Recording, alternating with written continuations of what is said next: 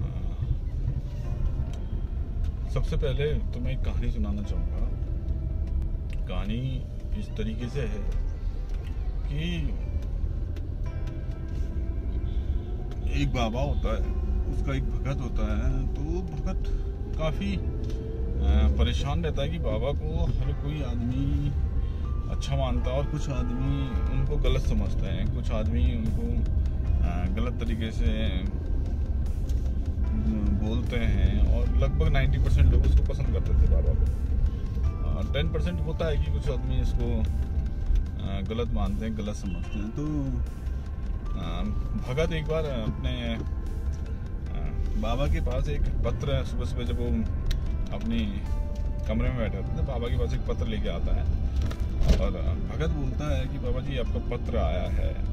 और तो बाबा उस पत्र को पढ़ते हैं, पढ़ने के बाद सोचते हैं और थोड़ी देर बाद उसमें मुस्कुराते हैं और पत्र को फाड़ देते हैं।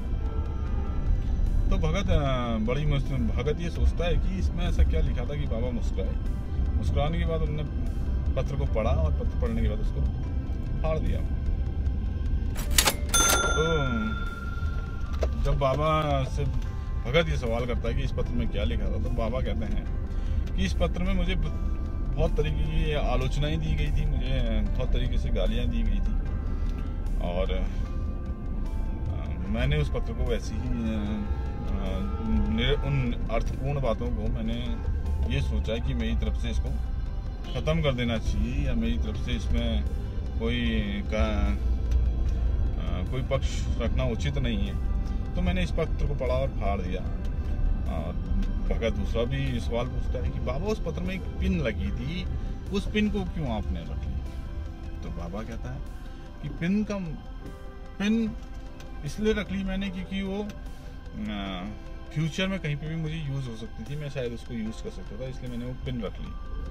तब आ, आ, उसमें एक बात निकल के आती है कि हमें हमेशा आलोचनाओं को छोड़ देना चाहिए और उसमें से जो उचित लगे, जो बातें सही लगे, उन बातों को रखकर अपने भविष्य में आगे बढ़ जाना चाहिए। आलोचनाओं को हमें वहीं छोड़ देना चाहिए।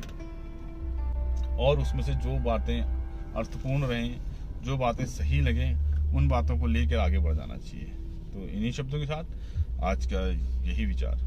धन्यवाद।